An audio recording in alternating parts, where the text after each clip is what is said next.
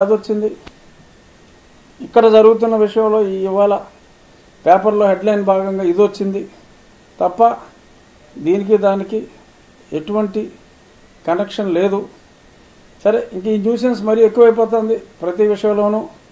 మరి ప్రభుత్వం దగ్గర జీతం తీసుకుంటూ రాజకీయాలు మాట్లాడుతూ ఇవన్నీ కూడా మాట్లాడుతూ మరొక రకంగా మరి గతంలో ఉన్న మరి మా పార్టీ ఇన్స్పిరేషను ఎవరి మోహం చూసి ఓట్లు వచ్చినాయో ఏ వైఎస్ఆర్ గారిని చూసి ఓట్లు వచ్చినాయో మరి ఆ వైఎస్ఆర్ గారి ప్రభుత్వాన్ని తప్పుపడుతున్న విధంగా మాట్లాడుతున్న ఈ సజ్జల రామకృష్ణారెడ్డి. ఎందుకంటే మరి ఆయన ఆరు సంవత్సరాలు ముఖ్యమంత్రిగా ఉన్నారు. మరి ఎప్పుడు కూడా మరి ఆయన ఇంకా ఎక్స్ట్రా ల్యాండ్ కూడా మరి వైఎస్ రాజశేఖర రెడ్డి గారు ఇచ్చారు. మరి మా వైఎస్ రాజశేఖర రెడ్డి గారి నిర్ణయాన్నే తప్పుపడుతున్న ఈ సజ్జల రామకృష్ణారెడ్డి గారి నిర్ణయాన్ని నేను తప్పుపడటంలో ఏ తప్పు లేదని నేను అనుకుంటున్నాను. చూద్దాం. నా విన్నపం అట్లీస్ట్ ఆగస్టు ఇరవై ఐదు వరకు పరిశ్రమ తరలింపు నిర్ణయం ఆపాలని కోరుకుంటున్నాను పత్రికా ముఖంగా. అమర్ రాజా యాజమాన్యం వారికి. ఎందుకంటే ఆగస్టు ఇరవై ఐదవ తారీఖు కొంత మంచి జరుగుతుందేమో అన్న నమ్మకం రాష్ట్ర ప్రజలకు ఉంది. చూద్దాం. ఆగస్టు ఇరవై ఐదున ఏం జరుగుతుందో. ఇకపోతే గతంలో మనం చిన్నప్పటి నుంచి చూస్తున్నాం. దారి దోపిడీల గురించి. దారి దోపిడీలు అనేది ఎప్పటి నుంచో జరుగుతుంది. కానీ విచిత్రంగా మరి అమరావతి మీద పగబట్టిన కొందరు దారుల దోపిడీ చేస్తున్నారు. దారి దోపిడీ బదులు దారుల దోపిడీ. రోడ్డుల్ని తవ్వుకుని పట్టుకుపోతున్నారు. నాలుగు అడుగుల మేర రోడ్డుని బుల్డోజర్లు తీసుకొచ్చి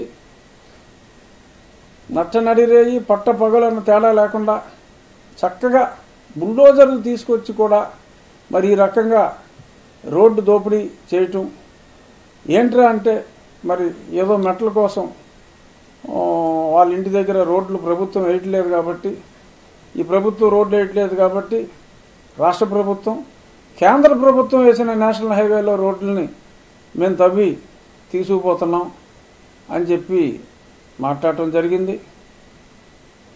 మరి దానికి పోలీసులు కూడా సమర్థించడం జరిగింది. మరి రోడ్లు గుంతలు పడినప్పుడు వాళ్ళు ఏం చేస్తారమ్మా అని అంటాం. మరి దీన్ని స్ఫూర్తిగా తీసుకుని మరి నిన్న తిరుపతిలోనే ఎక్కడో మరి ఒక కాలేజీలో కళాశాలలో మరి చాలా కంప్యూటర్లు ఉన్నట్టున్నాయి. మరి ఇప్పుడు ఈ ఎడ్యుకేషన్ సిస్టంలో మరి వర్చువల్ ఎడ్యుకేషన్ సిస్టంలో పిల్లలకి మరి కంప్యూటర్లు లేవనో ఏమో కాబోలు. మరి ఈ దారిని దారిలో కంకరని దారి వేసిన దారిని బద్దలు కొట్టి కంకర పట్టుకుపోయిన దొంగలకు పోలీసు శాఖ నుంచి లభించిన ఎంకరేజ్మెంట్ స్ఫూర్తితో మరి ఇప్పుడు కంప్యూటర్లు పట్టుకుపోయారట. మరి ఆ కంప్యూటర్లను కూడా సమర్థిస్తే మరి భవిష్యత్తులో ఇంకెన్ని దొంగతనాలు జరుగుతాయో మరి వాటికి పోలీసుల నుంచి మరింత ప్రోత్సాహం వస్తుందో మరి దీనికి ఆ డిఫాక్టో హోమ్ మినిస్టర్ గారు ఏమని సమాధానం చెప్తారో మరి ఆ జిల్లా పోలీస్ అధికారి గారు ఏమని చెప్తారో మరి దొంగలను పట్టుకుంటారా? మరి గుంటూరు ఎస్పీ గారు తరహాలో సమర్థిస్తారా? మరి చూడాలి. ఇక 你下要给我